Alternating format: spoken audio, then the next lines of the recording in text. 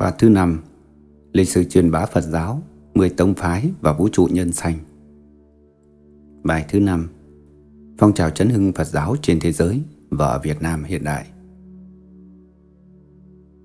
Mở đề, Trong thế kỷ 18 và 19 ở Việt Nam, Cũng như ở các nước Phật giáo khác, Sự truyền bá đạo Phật hình như thiếu một luồng sinh khí mới, Nên cứ chìm dần, Tưởng gần như sắp cáo chung. Nhất là khi Á Đông mới bắt đầu tiếp xúc với cái văn minh sống động rực rỡ của Tây Phương. Các dân tộc Á Đông bị mặc cảm tự ti, cho rằng mình thua suốt Tây Phương về mọi phương diện. Do đó các dân tộc Á Châu, nhất là các dân tộc đông đảo như Ấn Độ, Trung Hoa, đều ruồng giấy cái gia tài tinh thần của cha ông để theo học đòi cái văn minh cơ khí hùng mạnh của Tây Phương. Đạo Phật cũng như các tôn giáo khác ở Á Châu chỉ còn lại hình thức lễ bái cổ truyền. Còn các phần tinh hào quý báu của nó bị chôn sâu trong lớp bụi quyền láng của thời gian. Nhưng sau cái chóa mắt của những phút đầu tiếp xúc với ánh sáng lạ, người Á Châu nhận thấy văn minh Âu Tây chưa hẳn đã hoàn thiện. Những nhà tư tưởng triết gia, lãnh đạo tôn giáo đạo đức sau khi đã đọc được phương pháp suy luận, phân tách, tìm tòi một cách có khoa học của Tây Phương, đã quay về đảo giới, khám phá cái gia tài tinh thần của ông cha để lại mà họ đã ruồng rẫy. Giúp vào công việc ấy, có những nhà bác học khảo cổ, nhân trùng học đã tìm thấy được rất nhiều bằng chứng cụ thể nói lên giá trị chân chất của nền văn minh Á Đông. Do đó, đạo Phật được đặc biệt chú ý và càng đi sâu vào văn hóa Phật giáo người ta lại càng ngạc nhiên vì tính chất thuần thiện, cao khiết, trong sáng của nó. Từ đấy, một luồng sinh khí mới thổi lên, đem lại cho người tín đồ Phật giáo nhiều phấn khởi và tin tưởng ở giáo lý cao siêu của Đức Bổn Sư Thích Ca. Luồng sinh khí trên đã gây dựng được một phong trào chấn hưng Phật giáo. Mỗi ngày mỗi làn rộng.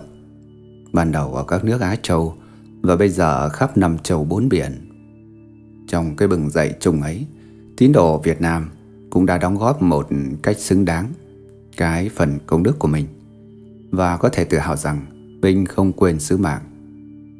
Vậy dưới đây, chúng ta hãy tuần tự điểm qua các phong trào chân hưng ấy trên các quốc gia Phật giáo như thế nào trước khi nói riêng về phong trào chân hưng ở Việt Nam trong hiện đại.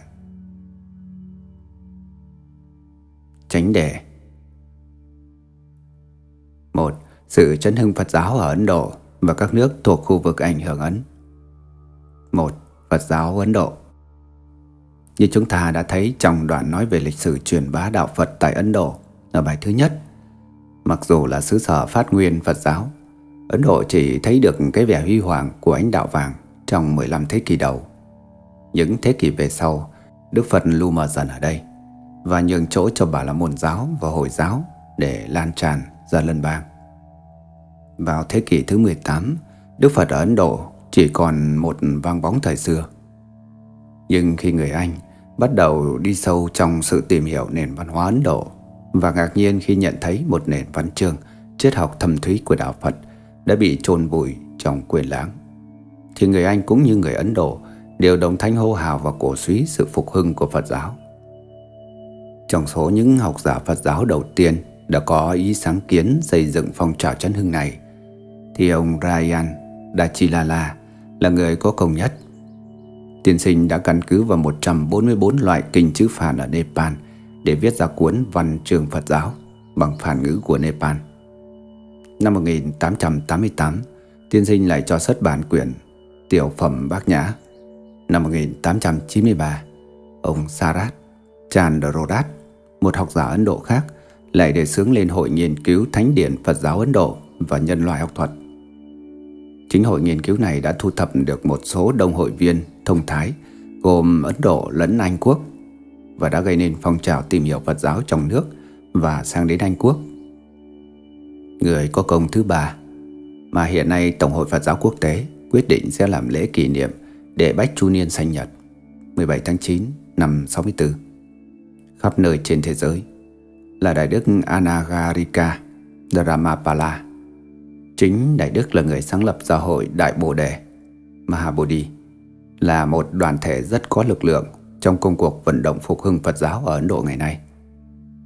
Sáng lập năm 1891, hội này dần dần có chi nhánh ở Âu Mỹ và lân bang Ấn Độ. Về công đức của Đại Đức Dharmapala, quyết định của Đại hội Phật giáo quốc tế lần thứ 6 tại Nam Vang đã ghi như sau. Đại Đức Anagarika Dhammapala đã tiên phong hướng đạo phục hưng Phật giáo Ấn Độ và cũng là vị Pháp sư đầu tiên tới thăm các nước châu Âu, Mỹ Châu nhờ con đường mà công trình Hồng Pháp mới được vạch rõ tại các nước Âu Mỹ như chúng ta đã nhận thấy ngày nay. Đồng thời với sự chấn hưng Phật giáo ở Ấn Độ, trong các nước kia chịu ảnh hưởng văn hóa Ấn Độ và nằm trong khối tiểu thừa Phật giáo như Tích Lan, Miến Điện, Thái Lan, vân vân, củng cố những luồng sinh khí mới, đem lại cho nền Phật giáo cổ truyền một sắc thái mới mẻ, trong sáng và hùng mạnh. 2. Phật giáo Miến Điện Hiện nay ở Miến Điện, Phật giáo được xem là quốc giáo. Từ năm 1948, sau khi thu hồi độc lập, chính phủ Miến Điện và vị thủ tướng ông Unu là một Phật tử. Nhiều kế hoạch dự chủ chân hưng Phật giáo đã được thực hiện. Chính phủ đã cho xây dựng khắp nơi trong nước nhiều Phật học viện, nhiều trường trung, đại học Bali, tổ chức các cuộc thi giáo lý và triệu tập nhiều đại hội Phật giáo quan trọng. Năm 1954, Đại hội tu trình kinh điển Phật giáo lần thứ 6 được tổ chức tại Miến với sự tham dự của 2.500 bậc danh tăng ở các nước Thích Lan, Campuchia, Ai Lào, Thái Lan, Ấn Độ, Hồi Quốc, vân vân để tụng diệt lại tất cả những bản kinh Pali. Đây là một công tác trọng đại không riêng gì Phật giáo Miến Điện mà chung cho Phật giáo thế giới. 3. Phật giáo Tích Lan Tích Lan cũng là một xứ đạo Phật rất thịnh hành. Dân chúng hầu hết là Phật tử. Số tu sĩ trong nước rất đông và có ảnh hưởng rất lớn trong quần chúng cũng như trong chính quyền. Năm năm sau trận chiến thế giới chấm dứt 1950, chính Tích là là nước đứng ra triệu tập một đại hội Phật giáo thế giới gồm trên 500 đại biểu thuộc 26 quốc gia Phật giáo tại thủ đô Colombo. Chính trong đại hội này, Tổng hội Phật giáo Thế giới được thành lập và một ban chấp hành đã được bầu cử mà chủ tịch là vị học giả Phật tử Tích Lan, bác sĩ Malala Sekera. 4. Phật giáo Thái Lan Cũng như Miến Điện, Phật giáo Thái Lan được xem như quốc giáo. Vì trưởng lão Tăng Thống, vua sãi, là người có một ảnh hưởng tinh thần và được tôn trọng hơn cả quốc vương. Hiện nay Thái Lan có phòng trừng trên 20.000 ngôi chùa và 200.000 vị tỳ kheo và sa di. So với 20 triệu dân Thái Lan thì số tu sĩ như thế cũng là một tỷ lệ rất cao. Cứ 100 người dân thì có một tu sĩ. Nhưng cái đà phát triển vẫn còn đang mạnh. Nhiều ngôi chùa đồ sộ đang được xây cất và nhiều thanh niên đang theo tập môn thiền trong các thiền viện.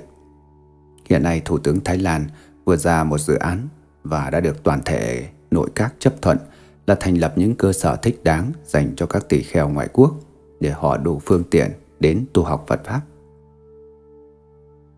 5. Phật giáo Campuchia Phật giáo Campuchia từ xưa đã là một quốc giáo. Từ kinh đô cho đến thôn xóm hẻo lánh xa xôi, màu vàng của các ngôi chùa và các tấm y của tu sĩ trói rực khắp nơi.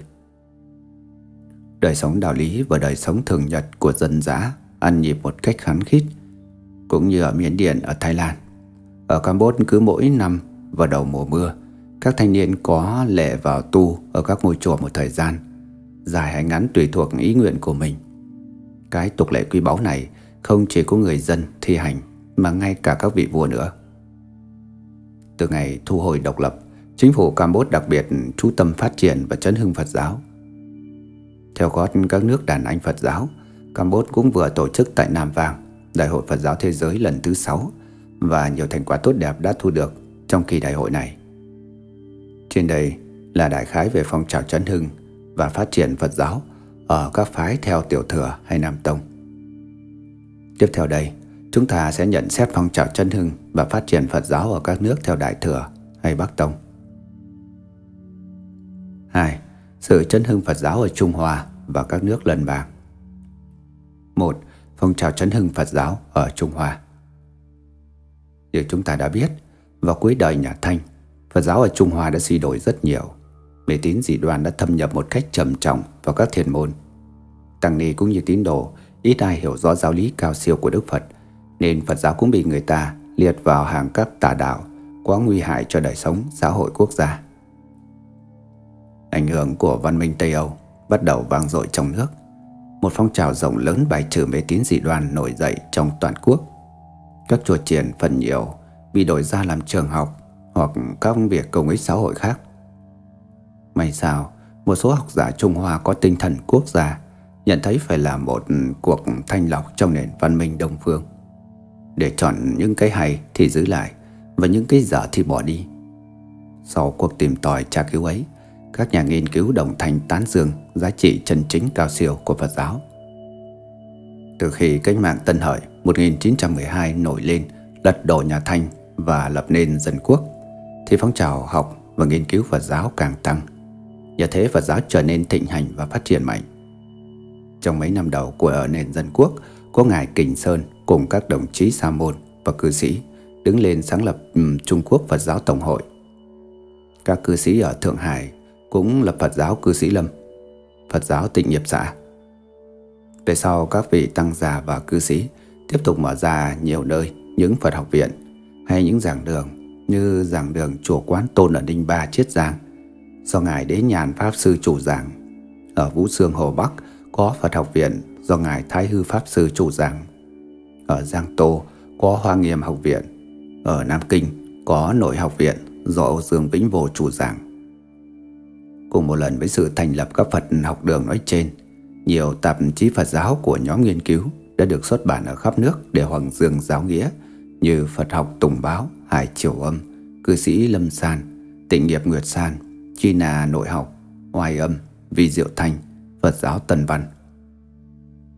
Trong số các vị đề xướng phong trào chân hưng Phật giáo ở Trung Hoa, người đã có công đức và ảnh hưởng lớn nhất là Ngài Thái Hư Pháp Sư.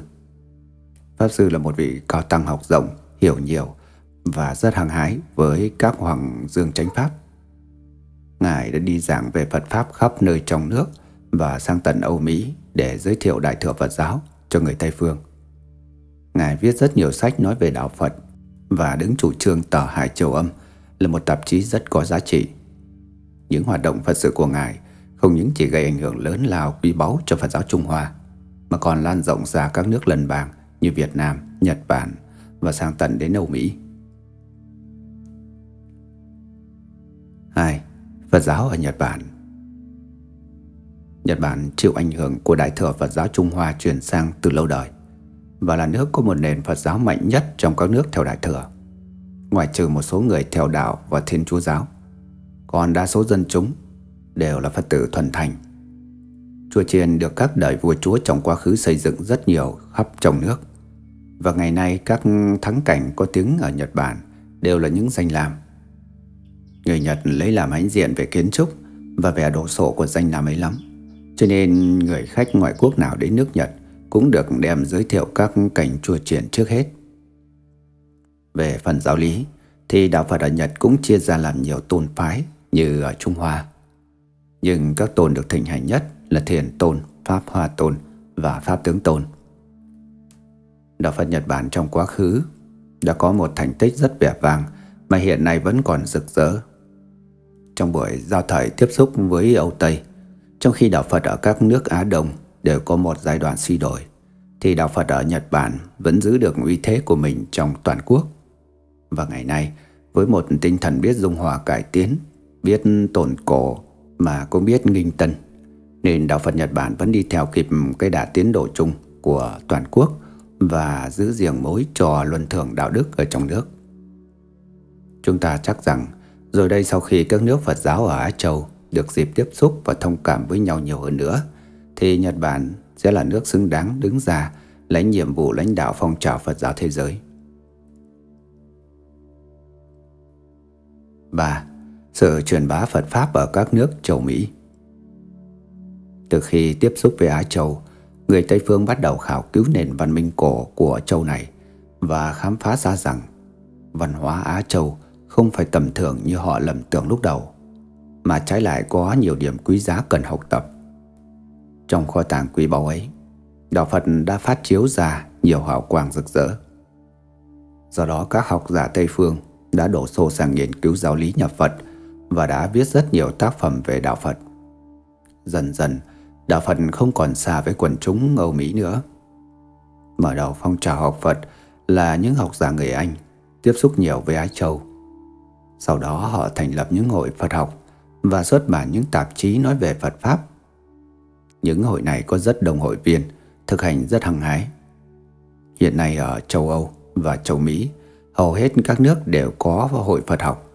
Báo chí truyền bá Phật Pháp, những chùa hay thiền viện để các tín đồ hay hội viên đến tập tham thiền. Có người sang ngay ở các nước Phật giáo Á Châu như Ấn Độ, Tích Lan, Thái Lan để xuất gia cầu đạo. Trong các đại hội Phật giáo thế giới, Phật tử Âu Mỹ đều có đại diện của họ và đã tỏ ra là những Phật tử thuần thành. Những bằng chứng cụ thể trên cho phép chúng ta hy vọng rồi đây Phật giáo sẽ bành trướng mạnh mẽ ở Âu Châu và đem lại cho các dân tộc ấy một nguồn an lạc mà họ không tìm thấy ở nền văn minh cơ khí họ đã sáng tạo ra. 4. Các đại hội Phật giáo thế giới Nhân loại càng tiến bộ, sự giao thông càng dễ dàng mau lẻ, thì các dân tộc trên thế giới không còn là lùng xa cách với nhau nữa. Đạo Phật ngày nay đã thành một tôn giáo có tầm hoạt động khắp thế giới, thì người Phật tử dù ở chân trời nào cũng vẫn là anh em một nhà, cùng thờ một thầy chung là Đức Bổn Sư Thích Ca Mâu Ni.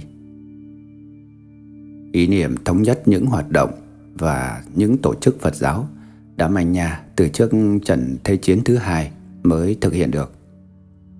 Đại hội Phật giáo Thế giới đầu tiên đã được triệu tập vào năm 1950 tại Colombo, kinh đô Tích Lan, gồm gần 500 đại biểu của 26 quốc gia và tổ chức Phật giáo trên thế giới. Đại hội ấy đã đặt nền tảng cho Tổng hội Phật giáo Thế giới và đã bầu ra một ban chấp hành chung cho cả thế giới Phật giáo. Một nội quy của Tổng hội đã được biểu quyết và trụ sở của văn phòng ban chấp hành đã đặt ở Colombo. Sau đại hội vài tháng, bác sĩ Malala Ikera, chủ tịch Tổng hội, đã đi thăm các nước Phật giáo hội viên và hai tờ tạp chí Phật giáo của Tổng hội được phát hành trên thế giới là tờ New Letter và The Buddhist Quốc. Từ đại hội đầu tiên ấy đến nay, cứ hai năm lại có một đại hội khác mà địa điểm tuần tự thay đổi như sau. Năm 1952, đại hội kỳ 2 họp tại Tokyo, kinh đô Nhật Bản mà mục tiêu chính là quyết định thống nhất hoạt động và các hình thức Phật giáo trong các nước hội viên. Năm 1954, Đại hội kỳ 3 họp tại Rangoon, kinh đô Miến Điện, cùng một lần với Đại hội kết tập Tam Tạng Kinh Điển kỳ thứ 6 từ khi Đức Phật nhập diệt đến nay. Năm 1956, Đại hội thứ tư họp tại Kathmandu, thủ đô Nepal, nơi Đức Phật đã Giáng sinh. Nội dung của đại hội này là thảo luận về văn hóa Phật giáo, triết lý, văn trường nghệ thuật. Năm 1958, Đại hội kỳ thứ 5 họp tại Bangkok, kinh đô Thái Lan, mà chương trình nghị sự là duyệt lại bản nội quy của Tổng hội. Năm 1961, Đại hội kỳ thứ 6 họp tại Nam Vang, kinh đô Campuchia. Trong đại hội này, 21 nghị quyết đã được chấp thuận. Trong ấy có nhiều quyết nghị rất quan trọng như vấn đề phát triển văn hóa và giáo lý trong các nước Phật giáo, thành lập Học viện Phật giáo Á Châu nhằm mục đích tương trợ, cung cấp tin tức và tài liệu, huấn luyện cán bộ các ngành hoạt động của Phật giáo, bảo vệ hòa bình thế giới và tín đồ Phật giáo, vân vân. Ngoài những đại hội có tính cách thường kỳ nói trên, các nước Phật giáo Á Châu còn thi nhau tổ chức rất trọng thể và có mời đại biểu quốc tế đến dự những lễ kỷ niệm 2.000 năm Đức Phật nhập Niết Bản như Ấn Độ, Nhật Bản, Tích Lan, Miến Điện, vân vân. 5. Phong trào chân hưng Phật giáo ở Việt Nam 1. Sự phát triển của phong trào ở Nam Trung Bắc Nổi gương thế giới và nhất là Trung Quốc, một phong trào chấn hưng Phật giáo đã nổi lên tại Việt Nam vào khoảng năm 1920. Lúc đầu chỉ có những cố gắng lẻ tẻ của một số quý vị tăng giả lão thành trong nước mong giữ lại một ít riêng mối của đạo.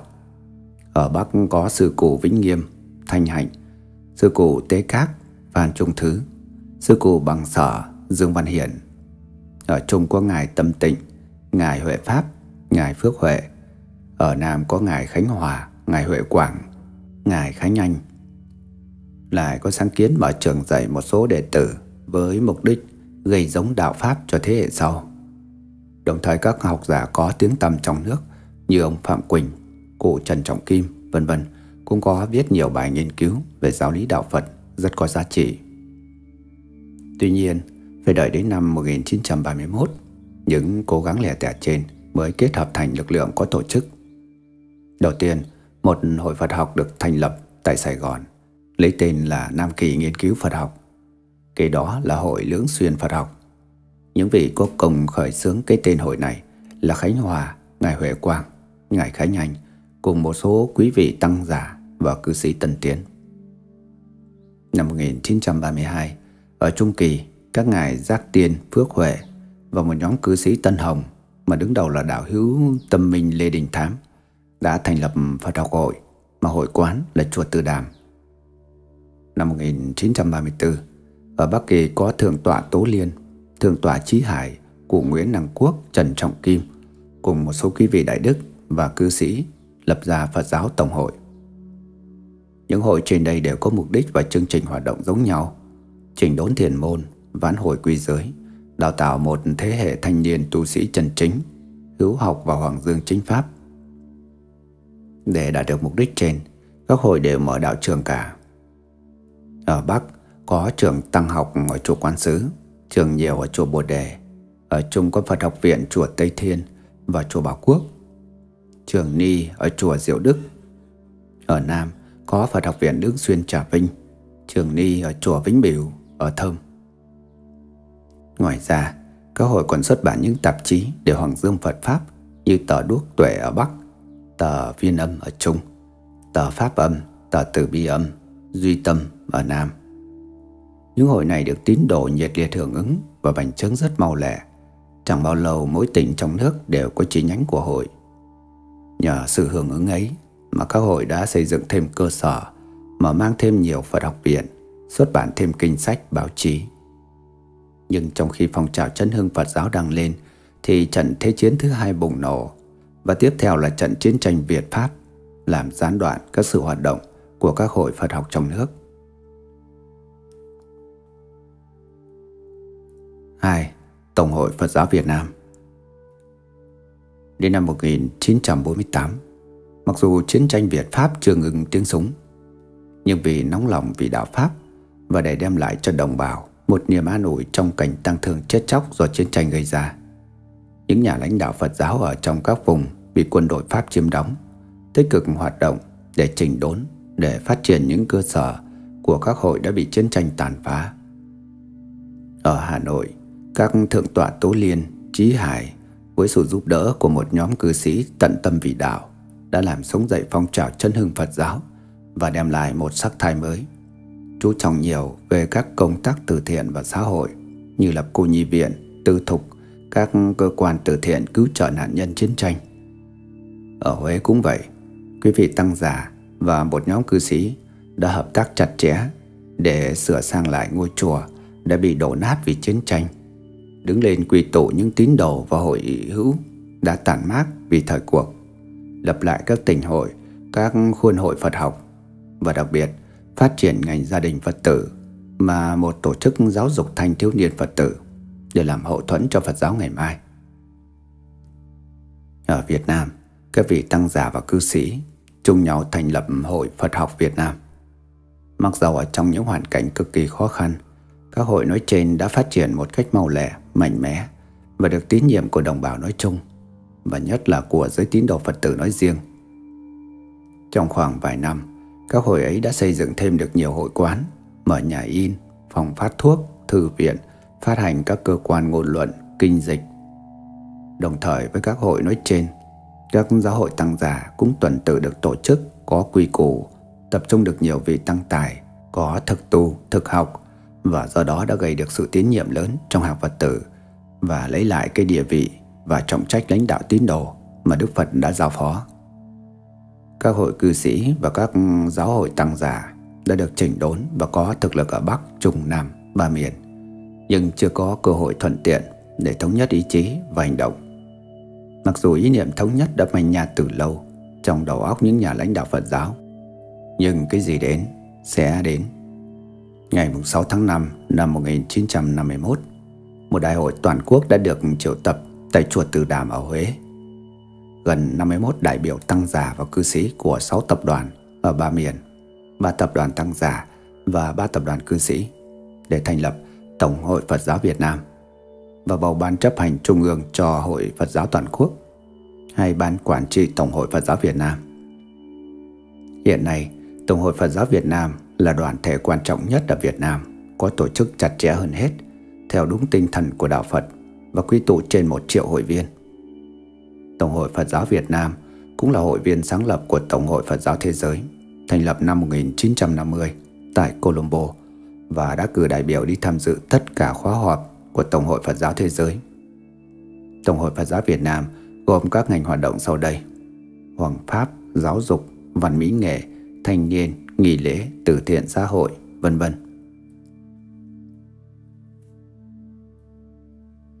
Kết luận Từ thời Đức Tử Phụ nhập Niết Bàn đến nay đã trên 25 thế kỷ rồi, mà mặt trời tránh Pháp mặc dù đôi khi bị đám mây đen lướt qua, nhưng vẫn chiếu sáng toàn cõi đại địa. Riêng ở Việt Nam đã được ánh sáng ấy chiếu đến gần 20 thế kỷ. Trong lịch sử Việt Nam, những giai đoạn Phật giáo thành hành là quốc gia được tự chủ, độc lập và hùng cường. Ngày nay Phật giáo Việt Nam đã được phục hưng, ánh sáng lại rực rỡ thêm. Đây là tin lành báo trước cho dân tộc Việt Nam. Chúng ta tin chắc với cái đà tiến triển như hiện nay, phong trào Phật giáo thế giới nói chung và Phật giáo Việt Nam nói riêng sẽ còn dâng cao, bùa rộng hơn nữa. Chúng ta có đủ lý do để tin tưởng như vậy. Vì Phật giáo không trái với khoa học ngày nay, mà còn là một nguồn an ủi, một suối nguồn yêu thương rất cần thiết cho nhân loại.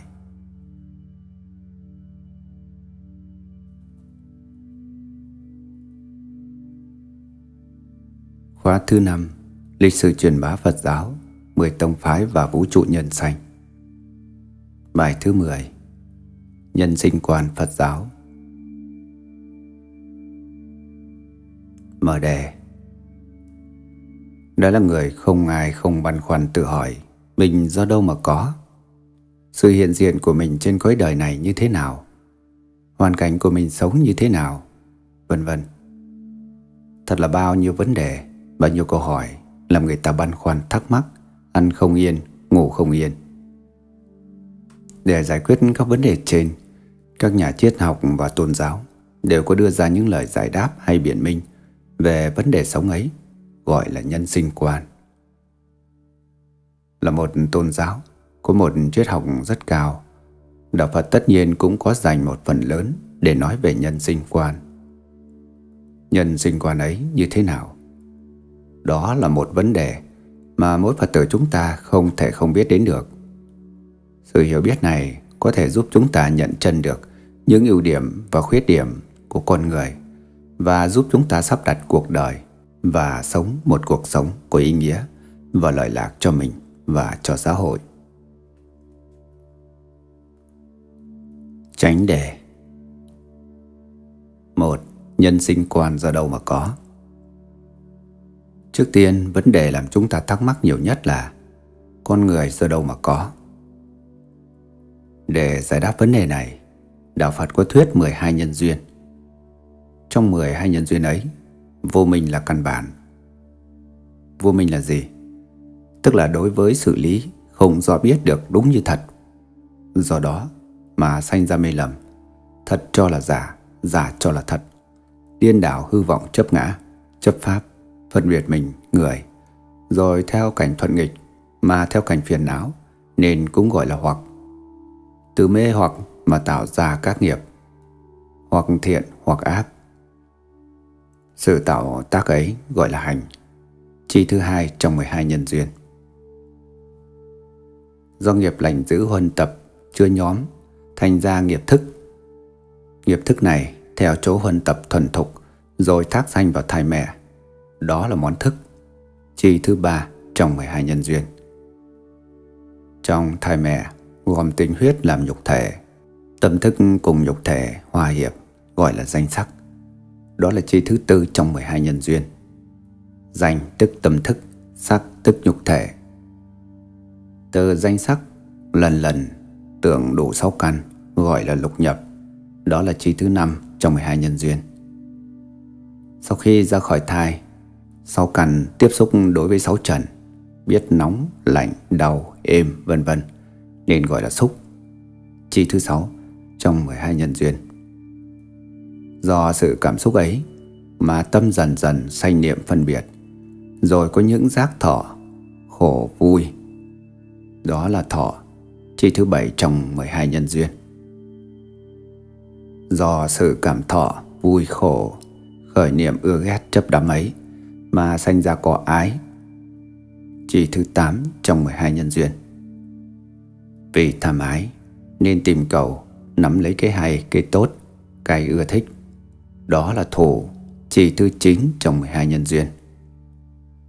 Muốn cho thỏa mãn những chỗ nhiễm trước, ưa thích của ái và thủ, nên phải tạo nghiệp. Nghiệp này có thể chiêu cảm quả báo vị lai, nên gọi là hữu, Chỉ thứ 10 trong 12 nhân duyên. Đã có hữu là cái mầm giống, thì thế nào cũng có sanh là chi thứ 11 trong 12 nhân duyên. Đã có sanh thì phải có lão và tử là chi thứ 12 trong 12 nhân duyên. Trong 12 nhân duyên, vô minh thuộc về hoặc, hành thuộc về nghiệp. Đó là nhân quá khứ mà có năm quả khổ hiện tại là thức, danh sắc, lục nhập, xúc và thọ. Do quả khổ hiện tại nói trên mà khởi ra hoặc là ái thủ và tạo nghiệp là hữu để làm nhân cho quả khổ sau là sanh và lão tử ở vị lai. Như thế, từ nhân quá khứ sang quả hiện tại, làm lại nhân cho quả tương lai. Ba đời cứ nối tiếp xoay vần mãi mãi không dứt, như một bánh xe lăn tròn lên xuống, xuống lên không nghỉ. Từ đó mà suy ra thì biết rằng, người chẳng những sống một đời trong hiện tại này, mà trước kia về quá khứ đã trải qua không biết bao nhiêu đời sống rồi. Và sau này, trong vị lai, cũng sẽ còn vô lượng đời sống nữa. Người hiện sống đây để rồi chết, mà cái chết lại là nhơn làm thành đời sống vị lai. Như thế, sống, chết, nối tiếp nhau, không bao giờ dứt. Như những làn sóng, cái này tan đi để hiệp lại cái khác, không bao giờ hết, nếu còn gió. Con người nếu gió vô minh còn thổi Thì dòng xanh mạng còn lưu truyền Lăn trôi, chìm nổi mãi hai Thân người như thế nào? Sau khi chúng ta đã biết nguyên nhân gây tạo ra sự hiện diện của con người trên cõi đời này rồi Một câu hỏi khác hiện đến trong đầu chúng ta là Thân con người như thế nào? Đẹp đẽ hay xấu xa? Có thật hay giả? Đáng quý hay đáng khinh? Để giải đáp vấn đề này, Đạo Phật có nhiều thuyết, tùy theo tiểu thừa hay đại thừa, tôn phái này hay tôn phái khác. Những thuyết ấy, mặc dù không trái chống nhau, mà chính là bổ khuyết cho nhau, làm cho vấn đề này được trình bày trong nhiều khía cạnh. Từ hẹp đến rộng, từ cạn đến sâu, từ ngoài đến trong, từ tướng đến thể, từ biệt tướng đến tổng tướng. Dưới đây chúng tôi xin tuần tự trình bày các quan niệm ấy từ nhân thừa đến thiên thừa, qua nhị thừa, rồi cuối cùng đến đại thừa, để quý độc giả có một quan niệm đầy đủ đến vấn đề này. một Quan niệm nhân thừa Thân người hòa hợp do tình huyết cha mẹ cùng thần thức góp bốn chất cứng, ướt, nóng, động mà thành. Chủ động trong ấy là thức, tức nghiệp thức bởi nghiệp thức người, nhóm các duyên hội họp làm thân người. Nghiệp thức ấy có ra do bởi sự gây tạo, vì đời trước huân tập nơi tự tâm, kết thành công năng có tánh cách người, có thể cảm đặng thân người. Như vậy là từ nơi tự tâm tạo tác hành nghiệp. Các hành nghiệp ấy trở lại huân tập thành công năng nghiệp người, nơi tự tâm. cho đến khi công năng nghiệp thức ấy thuần thục gặp đủ các trợ duyên, chiêu cảm hiện ra có thân người. Vậy thân thể không phải tự nhiên, không nhân mà có, cũng không phải ai khác làm ra, mà chính do tự tâm tạo, tự tâm biến hiện, nên có câu tâm tạo nhất thế và câu tam giới hữu tình, giai tuần nghiệp hữu. Thân thể theo nghiệp nhân mà có, nghiệp nhân hữu hạn nên thân thể có lúc giá rời. Trong khi thân thể còn, từ nơi tự tâm tạo tác các hành nghiệp để gây thành công năng chiêu cảm thân sau. Và thân sau này sẽ thành hiện tại. Khi thân trước đã theo nghiệp báo mà tiêu diệt. Cho nên Phật giáo đối với sự chết chỉ là xoay biến của nghiệp nơi tự tâm để thay thân cũ lấy thân mới. Trong khi mọi người vì sự hiểu biết hạn hẹp đã lầm tưởng thân thể thoạt nhiên xanh và sau khi chết hoàn toàn tiêu diệt. Chết để thay đổi thân mới, xanh để thế thân cũ, xoay vần lấy vòng chết và xanh, xanh và chết. Thay thân cũ lấy thân mới, lấy thân mới để thế thân cũ, như người ta thay y phục. Vậy thân thể của người hiện nay chỉ là một thân trong vô lượng thân. Người đã thay bỏ không biết bao nhiêu thân về trước. Sau này người cũng sẽ phải đổi thay không biết bao nhiêu thân nữa. Nếu không một niệm hồi quan phản chiếu. Sự sanh hiện tại chỉ là một lần sanh trong vô lượng lần sanh. Và sự chết ngày nay cũng chỉ là một phen chết trong vô lượng lần chết. Phật giáo đối với sự sanh không tham cầu Vì nó là vô thường không lâu không bền. Đối với sự chết không sợ hãi vì nó không phải mất hẳn đi mà chỉ là sự thay cũ đổi mới.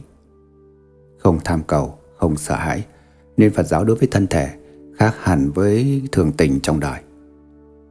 Người ta thấy nơi người đã thật hiểu Phật giáo, khi chết như khi sống, lúc đau như lúc mạnh, vẫn an hòa, bình tĩnh. Thân nhiện có đây là kết quả của nghiệp nhân đã tạo ra từ trước và thân sẽ có sau này là do nghiệp tạo bây giờ. Nên người trong Phật giáo đừng thọ lãnh báo thân hiện tại, giàu khổ hay vui Đều nhận chịu Một cách vui vẻ và nhẫn nại. Vì có kêu cầu chán nản thế nào, Không thể làm gì được Một khi đã kết quả.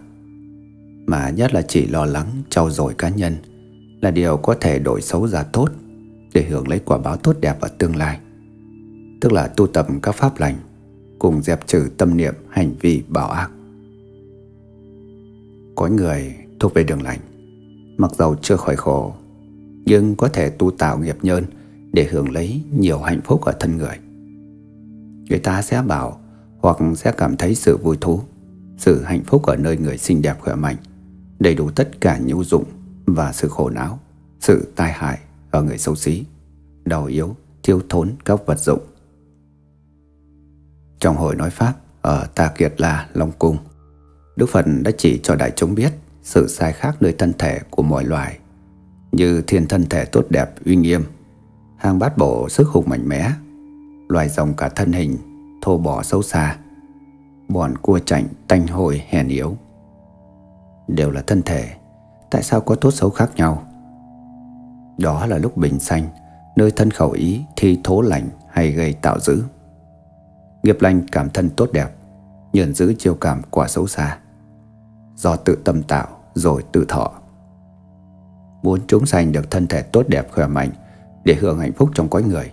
Trong kinh thiện sanh, Đức Phật cặn kẽ chỉ dạy cách ăn ở hợp pháp trong gia đình về nhân đạo. Lấy năm giới cấm làm căn bản, bất sát sanh để gây tạo thiện nhân, cảm thành quả để xinh đẹp khỏe mạnh sống lâu ở tương lai. Không trộm cắp gian tham để làm thành nghiệp lành hưởng quả no ấm đầy đủ cho thân thể tốt đẹp. Trừ tà dâm để chiêu cảm thân hình đoan trang cùng hưởng phúc gia đình. Tránh vòng ngữ để được giọng nói điều hòa trong trèo và kiêng rượu để khỏi phạm mấy điều trên. Cùng gây dựng ở hiện tại và vị lai, bộ trí óc sáng suốt. 2. Quan niệm thiên thừa Tròn vẹn nằm dây cấm, nhân đạo đã hoàn thành. Đào tạo chắc chắn nghiệp chủng người tốt lành nơi tự tâm. Và sau này khi thuần thục sẽ cảm lấy thân thể làm người tốt đẹp mạnh khỏe Trường thọ, giọng hay, óc sáng Để hưởng hạnh phúc nơi cõi người. Trên cõi người còn có các cõi trời. Về thân thể, mọi phương diện đều hơn người. Không như thân người phải thai xanh nhấp nhúa, khổ sở Vì các vị trời được hoa xanh. Thân thể cực kỳ xinh đẹp, Cao lớn giống nhau, Các căn đầy đủ, Thấy suốt, nghe xa, Được thần thông tự tại theo ý muốn. Đồ nhu dụng tự nhiên có, Cho đến khỏi tất cả bệnh tật. Thân thể thường khỏe mạnh luôn, Vẫn mãi trẻ trung không già. Không như thân người, Nếu không tránh khỏi nỗi đau khổ Vì bệnh hoạn, Bức bách vì già yếu. Thân thể các loài trong thế gian, Chỉ có thân trời là hơn hết. Từ những điều tốt đẹp của thân Nhận đến sự thọ dụng. Từ đâu chiêu cảm được sự thủ thắng ấy. Cũng như đã nói ở trước, Tạo nghiệp nhân gì Thì từ tâm sẽ gìn giữ nghiệp như ấy Và sẽ chuyển hiện ra quả Đúng như vậy. Như vậy, Ngay ở dưới ánh sáng mặt trời Thì bóng của vật ấy thẳng. Trái lại, Vật ấy bóng ác cong Muốn được bóng thẳng Thì phải sửa sang cho vật ấy thật ngay. Cũng như muốn được hưởng thân trời Phải vun trồng nghiệp nhân trời Phật dạy 10 điều lành Gọi là thập thiện nghiệp Tức là các đức tánh tốt Phát sanh từ thân khẩu ý tưởng Thực hành hoàn thành 10 nghiệp lành Tự tâm trong sạch Thì nghiệp cũng có công năng tốt đẹp Sẽ cảm thọ thân thủ thắng không bệnh tật, khỏi già nua, trường thọ ở cõi trời. Đức Phật dạy những nguyên nhân và quả báo cùng sự tu hành để khỏi bị những thân xấu xa, khổ sở và được cảm hiện những thân cường tráng, vui vẻ, tốt tươi của người và trời. Chính là nhân thừa Phật giáo cùng thiên thừa Phật giáo đối với thân thể. Mặc dù vui vẻ ở thân người, song thân người còn phải bị tám điều khổ lụy Dẫu thu thắng ở thân trời Song thân trời chưa khỏi nạn vô thường khi nghiệp nhờn đã mán Ngũ suy tướng hiện. Vì trời và người Đều còn là phạm phu trong tam giới. Vậy thân người và thân trời Chưa phải là chỗ đáng ham. Nên trong Phật giáo Còn có ba thừa siêu thoát Ngoài vòng khổ lụy của ba cõi. Tức là thanh văn thừa, Duyên giác thừa Và Bồ Tát thừa. 3. Quan niệm nhị thừa Thân bất tịnh. Lấy con mắt của hàng nhị thừa, Xem nơi thân thể, Chỉ là một giống như nhớp, Như nhiều chất nhiều uế hòa hiệp. Các ngài chỉ cảm thấy nó là hiện tượng Của muôn điều khổ sở, Buộc ràng Không có mảy may chi, Đáng gọi là vui thú. Nên có câu, Thân vi khổ bổn. Và thân thể là chỗ nhờ góp tất cả sự nhớ nhớp cùng. Để rồi giá rời tàn nát. Nên có câu, thị thân bất tỉnh cách nàng su uế, và thị thân vô thường tất quỳ tán diện. Thử nghiệm xem, những sự thống khổ trong thế gian từ đâu mà có. Phải chen do nơi thân thể, các sự thống khổ như lạnh, nóng, đói, khát, mỏi, khổ, đau, nghịch trái, vân vân, đều thuộc về nơi thọ mà thọ có ra là bởi lục căn tiếp xúc với lục trần. Thân thể là chỗ nương của lục căn. Nên sự khổ thọ lấy thân làm gốc. Và lại người đời không gì khổ bằng. Lúc sinh đau đớn kêu la khi già lụng cụm run rẩy lúc ốm đau lúc đuối bức sức, khi chết giấy dụ hãi hùng bốn việc đại khổ ấy lại là cái khổ sanh trụ dị diệt của thân thể. Xưa bốn thầy tỳ kheo cho ở đời sự sợ sệt, sự nóng giận, sự dâm dục Cùng sự đói khát là khổ nhất. Đã bị Phật của trách Vì chưa xét đến thân là gốc của muôn điều khổ. Không thân thì các sự khổ Sợ, gian, dâm, đói từ đâu mà có? Thấu đáo thầy cho câu thân vi khổ bộn Và câu thân như oan thủ Sự nhớ nhớp hồi hám của thân thể Không thể tả xiết. Người ta không nhớ quá khứ. Không nghĩ đến vị lai Chỉ nhòm nơi hiện tại Và dùng nào là quần áo phủ che nào là xả hương sông ướp, để rồi làm mê hồn mình trước đổ hôi tanh bất tỉnh Tôi nhìn đến các chất như cửu khiếu, tức trên lộ cống trong thân chảy ra. Tự mình cũng đã quá gớm của mình, chưa nói đến thân thể của người khác. Nhưng trong kinh có câu chư khổ lưu bất tịnh. Làn da mỏng là một cái giấy mà trong đó chứa đầy những máu mủ, thịt xương, đàm rái và đại tiểu tiện vân vân. Còn gì ghê gớm bằng khi một thân người bị lột cả da và bị banh xé. Câu cách nạn xú uế đã từ miệng Phật thốt ra để cảnh tỉnh kẻ say đắm. Thần nhớ nhất hiện tại từ đâu mà có. Từ ngày trước, điểm tinh, giọt huyết hòa lẫn trong khi nghiệp thức vọng tưởng mê cuồng với sự giao hợp của cha mẹ mà kết thành. Sự dơ dáy của tình huyết, sự đáng gờm của bào thai, thật không bút mực nào tả hết. Cho đến sau này, nghiệp thức đã xa lìa, thân thể sẽ xanh cứng, sẽ xình trương, sẽ nứt nở ra. Để làm ổ cho đám giỏi tửa, làm chỗ cho ruồi kiến bù đậu, và để tiết ra những chất nhờ nhớp nhất và hồi tành nhất. Lúc mới kết hợp, vọng tưởng tinh huyết bất tịnh. Khi đang sống, đàm đánh phần đái máu mủ bất tịnh, lúc chết tàn giá hồi tành bất tịnh. Như vậy, thân người là một vật bất tịnh nhất trong các vật bất tịnh. Từ đầu đến cuối, khi mới tượng sanh đến lúc hư mất, thầy đều hoàn toàn là bất tịnh. Trong thân nhớ nhớ bất tịnh đáng ghê tởm ấy, còn có một sự mà nếu thấy hiểu, người ta sẽ không còn ham muốn gì về thân thể. Từ lúc nào đến lúc nào, mà giờ cũng giáp danh đến chỗ tiêu diệt. Đang trẻ trung, đắm thoát đã giả nua, từ cái mạnh mẽ tươi tắn, không bao lâu đổi thành yếu đuối, mệt nhọc, nhăn nheo. Trong khoảng thời gian ấy, không biết bao nhiêu sự đổi thay vô thường. Thân năm trước không phải thân năm nay, thân tháng trước không phải thân tháng tới. Thân ngày nay không phải thân ngày hôm qua. Cho đến từng giờ từng phút từng sát na cũng đã đổi khác.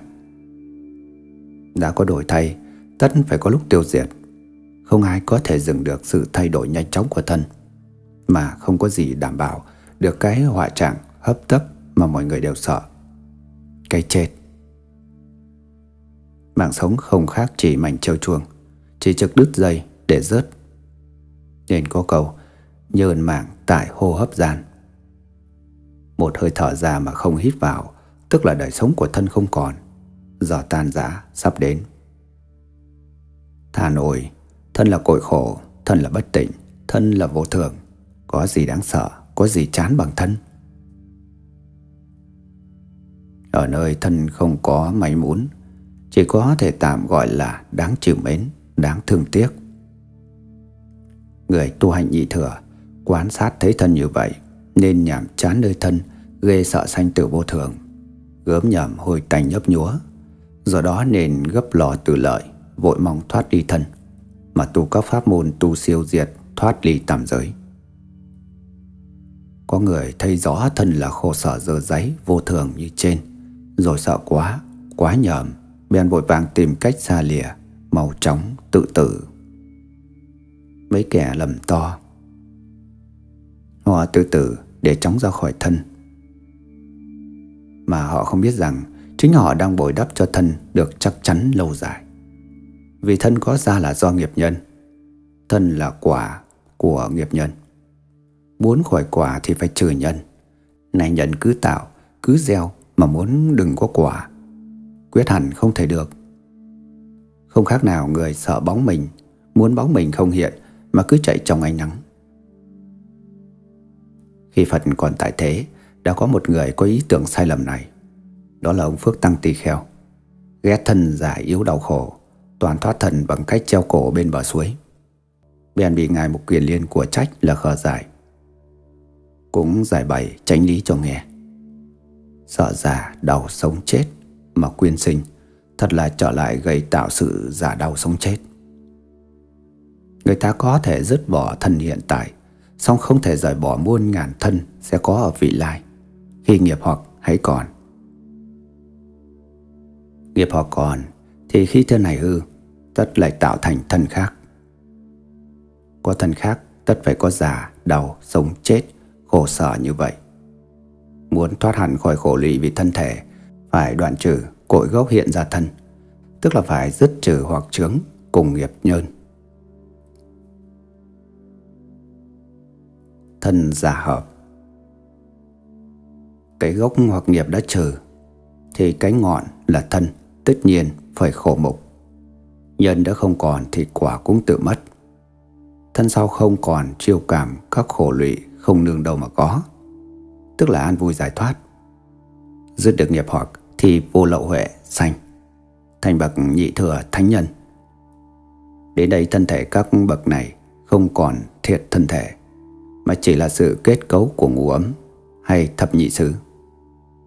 Trong khi người thường nhận là thiệt có thân thể, có đầu mặt tay chân, có hình dung động tác, mà với huệ chứng cô các ngài thấy là sắc, là thọ, cho đến là thức, hay thấy là nhãn, nhí, tỷ, thiệt, thân ý.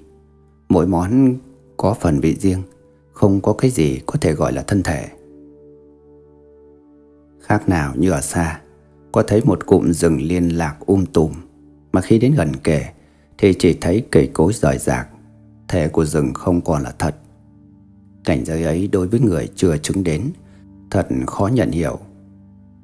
Thậm chí không thiệt có, nó còn chỉ là có đối với nghiệp thức của chúng ta thôi.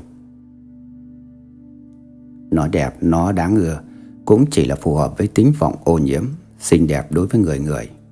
Chưa chắc hẳn đã xinh đẹp với người khác.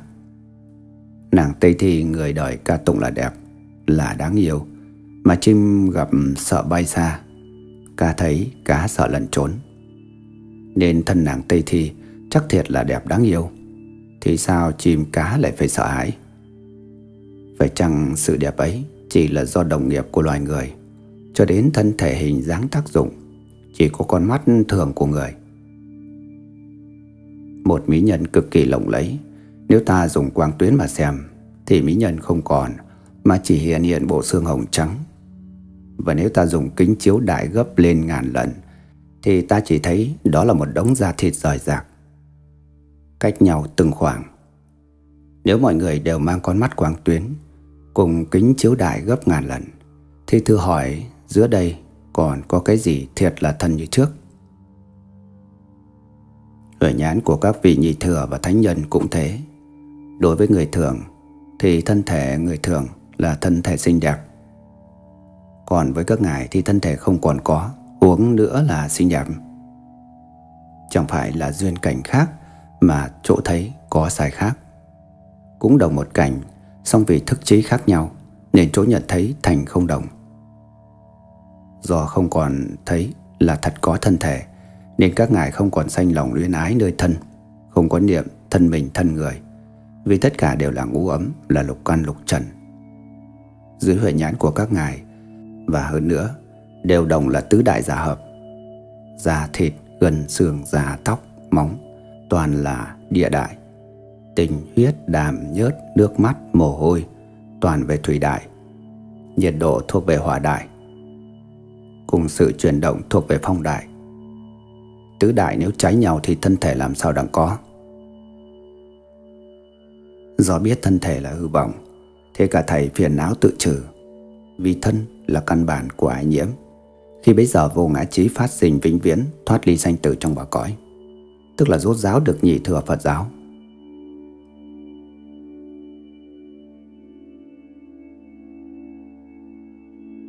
Bốn Quan niệm đại thừa. Thân như hiện hóa.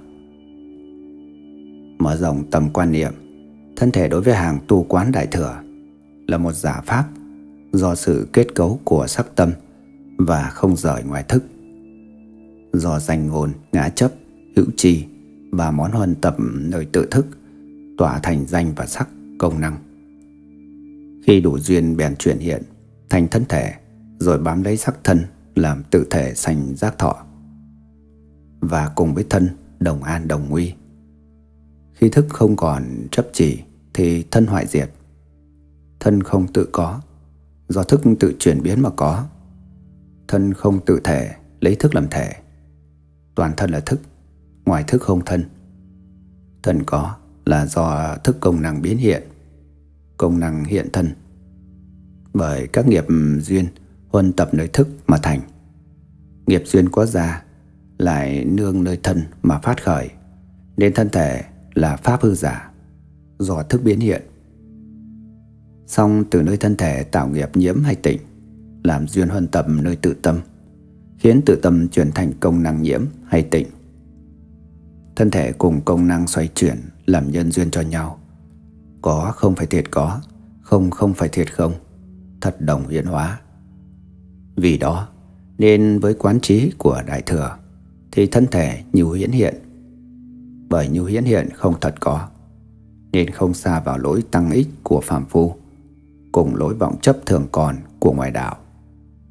Bởi như hiến, giả có, chẳng phải không hẳn, nên khỏi bị lỗi tổn giảm của nhị thừa và chấp đoạn diệt của tà giáo. Bồ Tát nơi nương huyễn thân, tu như huyễn pháp môn, nhất huyễn ái kiến, độ huyễn hữu tình, chứng huyễn thánh quả. Do thấy thần như huyễn hóa, toàn hư vọng, không còn ái trước nơi thân, nên phiền não không sanh.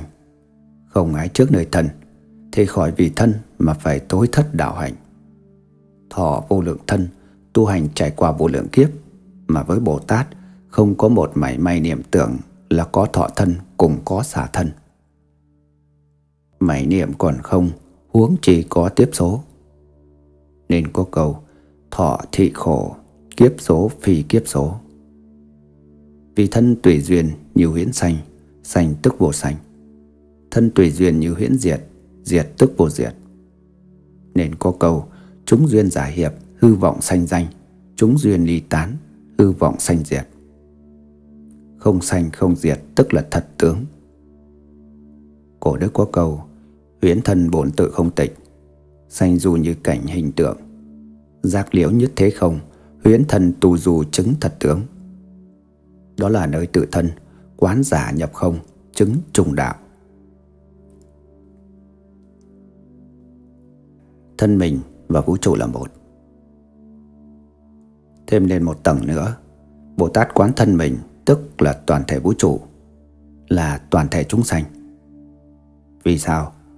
Tất cả các pháp đều đắp đổi làm duyên, đối đãi với nhau. Một pháp này có ra là do đối đãi với các pháp kia. Các pháp kia có giả là do đối đãi với pháp này. Thân thể hiện có là nhờ vũ trụ đối đãi làm duyên. Vũ trụ trở lại do sự đối đãi của thân thể mà có. Duyên nơi vũ trụ mà có thân thể thì thân thể là vũ trụ. Duyên nơi thân thể mà có vũ trụ Thì vũ trụ là thân thể Vũ trụ và thân thể không hai không khác Thân mình là toàn thể vũ trụ, Thân người cũng là toàn thể vũ trụ cho đến thần tất cả hữu tình Cũng đều là thân thể vũ trụ Toàn thể vũ trụ là thân mình Mà toàn thể vũ trụ cũng là thân của tất cả hữu tình Và thân hữu tình là toàn thể thân mình Vũ trụ thể tánh viên mãn Thì thân mình là thân tất cả hữu tình thể tánh cũng đều viên mãn.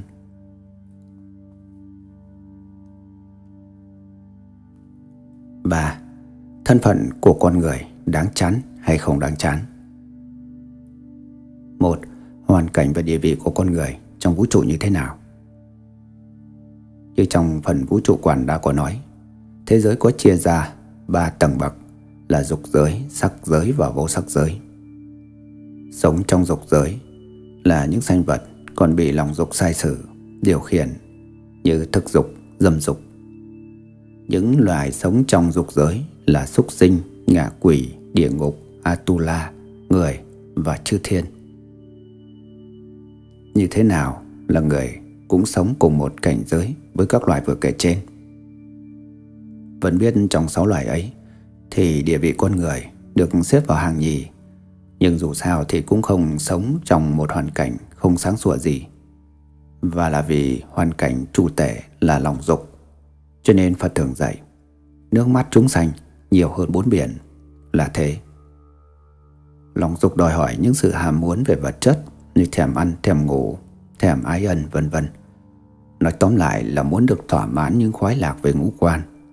Nhưng đầu đã hết, con người còn ham muốn được thỏa mãn những nhu cầu về tinh thần ham muốn chiếm đoạt, ham muốn về chế ngự, ham muốn phô trương, vân vân nghĩa là tham danh tham lợi. Nhưng nếu tham mà được thỏa mãn tất cả thì cũng đỡ khổ. Ở đây trái lại, lòng dục không bao giờ được thỏa mãn cả. May ra thì còn có thể thỏa mãn tạm thời trong chốc lát. Và như thế lại càng nguy hiểm. Vì chẳng khác gì người khác mà uống nước mặn, càng uống càng khát. Loài người bị trói buộc vào lòng dục như con ngựa bị buộc vào cỗ xe, cứ phải kéo chạy mãi, không bao giờ được yên nghỉ. Hơn nữa, lòng dục ấy chính là cái mầm xung đột giữa loài này với loài khác.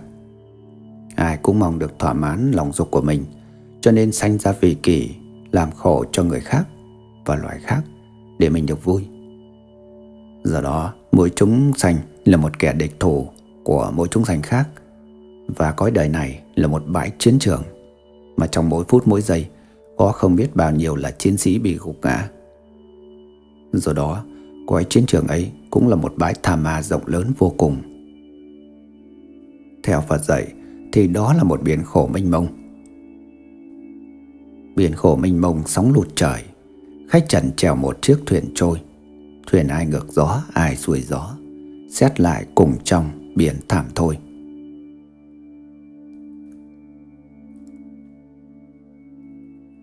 Hai, tính chất vô thường và vô ngã của con người. Con người khổ vì lòng dục, con người còn khổ hơn nữa vì hai tánh chất căn bản sau đây. Vô thường Mọi vật ở đời không đứng yên một chỗ, Mà biến chuyển di động luôn luôn Trong từng phút, từng sát na. Thân phút trước không phải là thân phút sau. Cứ trong mỗi phút giây, Bao nhiêu triệu tế bào trong người đang chết Và bị thay thế. Con người thì tham được sống, Mà con người cứ bị kéo dần về quái chết. Càng muốn được sống chừng nào, Lại càng sợ chết chừng ấy. Sự chuyển biến mau lẹ, Từ tóc xanh đến bạc đầu, Chẳng khác gì một giấc chiêm bao vô ngã. Con người cũng như mọi vật, sở dĩ có là do nhân duyên hòa hợp. Con người chỉ là một cái tên, là một giả danh để gọi cái hội họp của năm bọn là sắc, thọ, tưởng, hành, thức. Khi đủ nhân duyên, chúng nó tập hợp lại thì gọi là sống. Khi nó tan ra thì là chết.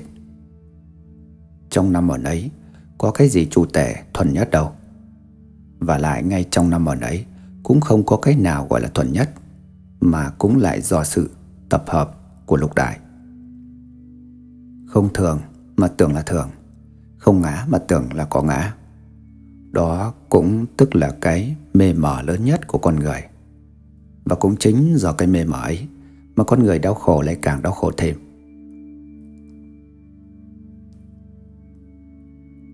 Ba, khả năng của con người Xét như trên, Thì thân phận con người thật là đáng chán. Vậy thì chúng ta đành thất vọng, Buông xuôi tay mà than khóc để chờ chết hay sao?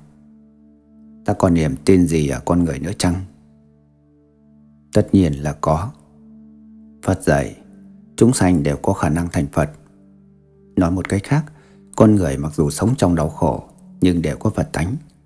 Với cái Phật tánh ấy, Con người có thể thoát ra khỏi hoàn cảnh tối tăm của mình để thoát ra khỏi hoàn cảnh ấy, con người không cần phải quỳ lạy cầu xin một đấng nào khác, mà do tự lực và hành động của mình. Chỉ có mình mới giải thoát cho chính mình được mà thôi. Con người chính là vị sáng tạo của đời mình. Khi mê thì con người tự mình làm cho mình đau khổ. Nhưng khi biết mình mê mà tìm cách thoát ra khỏi cảnh mê thì con người chính là kẻ tự gây dựng hạnh phúc cho mình. Đó là ưu điểm của con người. Đó cũng là niềm tin tưởng lớn của con người.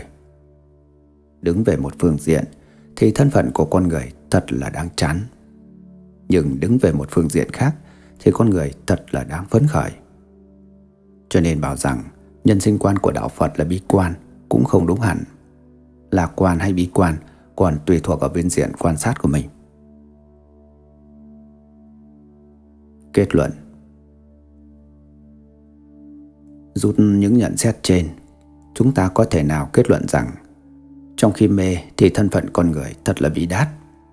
Nhưng khi bắt đầu nhận được mình mê thì con người có thể hoán cải được hoàn cảnh và cuộc sống của mình. Nhưng làm thế nào để hoán cải? Làm thế nào để chuyển mê thành ngộ? Làm thế nào để chuyển khổ thành vui? May thầy Giáo lý của Đức Phật có đấy Người chỉ dẫn phương pháp chuyển mê thành ngộ Chuyển khổ thành vui của nó Chúng ta chỉ cần gia công tu tập, Thì thế nào cũng chuyển đổi được hoàn cảnh buồn thảm của chúng ta.